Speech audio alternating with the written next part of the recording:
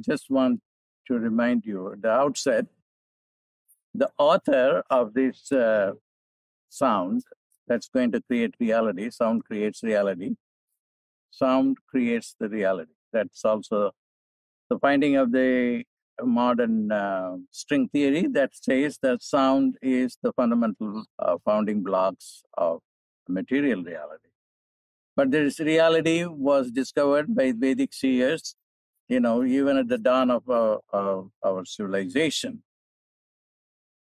The author of this mantra, Shreem Brzee, is Vishwamitra, who was uh, an emperor and who wanted to give a lifestyle that uh, of uh, of his own uh, his own lifestyle, the emperor's lifestyle for everyone, and he was the the most compassionate being ever lived on the earth plane. And he found out that there is no economic theory that would substantiate it because uh, it's the, the his treasury would bank, go bankrupt if he gives uh, all the money in the bank uh, in, the, in his treasury to the to his citizens. So he thought that it's uh, fundamentally the, a person's consciousness that is responsible for uh, that person's uh, wealth or, or poverty. Uh, the poverty is created by consciousness, wealth is created by consciousness. Fundamentally, both wealth and poverty are sound frequencies. And these sound frequencies, if they are changed and then lodged in, in one's brain, and one begins to live it, then he is able to accordingly create poverty or, uh, or prosperity. And that is the fundamental basis for this. So this is the time, during the time that divine comes with a divine solution. And the divine solution is that Shreem, Shreem Brzee. This is the sound, a bosonic sound uh, that can create the reality. And this reality here is the reality of, of, uh, of prosperity for everyone regardless whether you have a skill set or uh, whether you have education or whether you have anything, it doesn't really matter. What really matters is just hammer, hammer, and hammer and hammer your brain with this sound.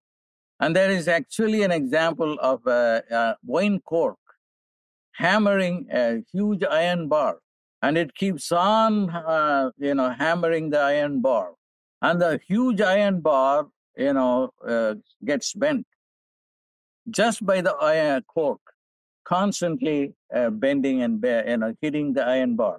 And this is exactly the same thing that is happening when you use the sound uh, Shreem Brzee. It hammers and hammers and hammers. And uh, there are a couple of things here. There are two type of hammering going on when you use it. One is by Shreem and another is by uh, Brzee. The Brzee hammering is uh, going to help you to change your karma. But in the, for now, it's enough for you to understand. Unless your karma is changed, nothing is going to change. So it's important to change your karma. What is karma? Karma is your mindset. A mindset comes from your your uh, your father, your father's father, and uh, and the great grandfather, and all these the biological genes uh, are also have correlates for uh, the soul genes. So you are also conditioned by the genes that you have inherited. If they are poverty genes, then you are naturally uh, uh, thinking those thoughts that are not uh, prosperity related. So that is karma.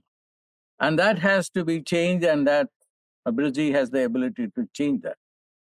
And uh, I want to have uh, people to know for themselves through monitoring their own progress by seeing this sound. Every second is new. It's not that, you know, you will have to pay, you know, a lot of time to get this done. Even the hammering analogy is just only an analogy.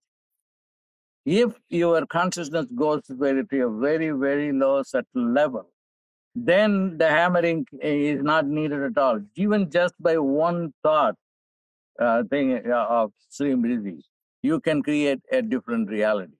It's a matter of uh, refining your consciousness to the atomic level, be, below the thinking level. When the breath stops, You can breathe, you can stop your breathing. When the breathing stops, then the mind will also stop.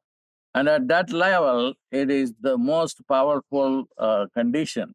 And in that condition, Shreem Brzee has to be used.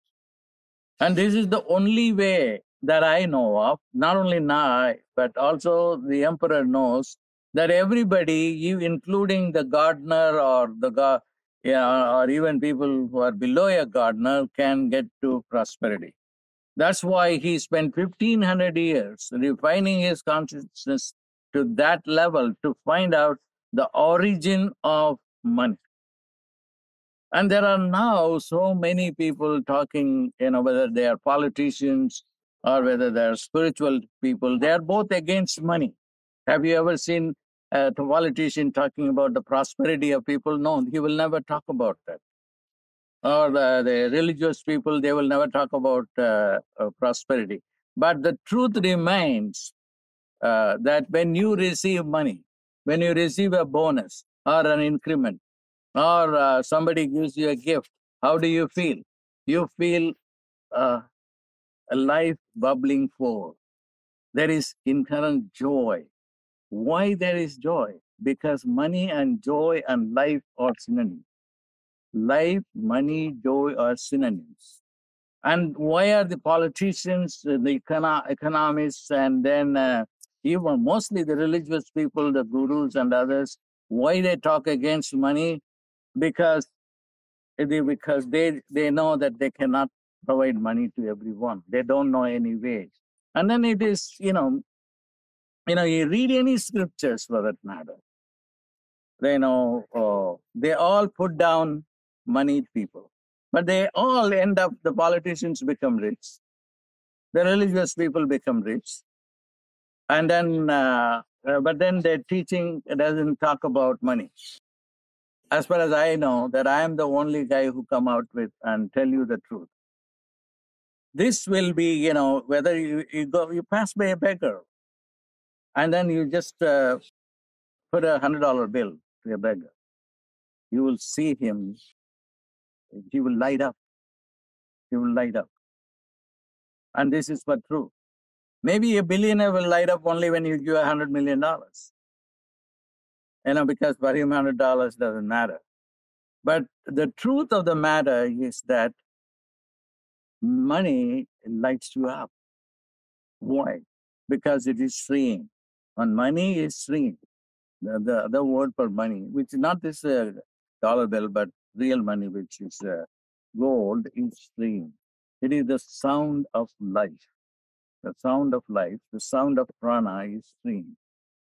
And then when you begin to uh, live that sound, that is when you are going to experience the creation. You will be you will be able to see the creative process.